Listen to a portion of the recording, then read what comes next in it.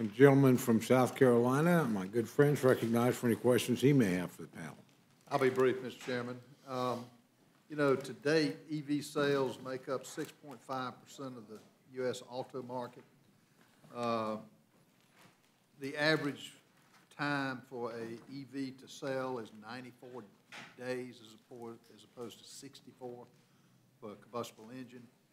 Uh, As Thomas mentioned, Tesla Model S battery requires the uh, u- energy usage equivalent to 50 homes.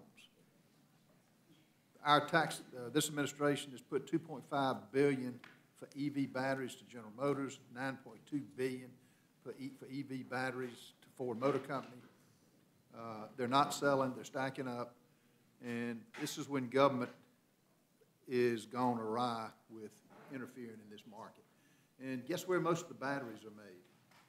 One of the main component, main countries are China, which is not got our best interest. This is a, a great bill. It's insanity what this administration is doing. So, uh, thank you for both of you testifying. I yield back. Thank you very much. Now recognize my good friend from the great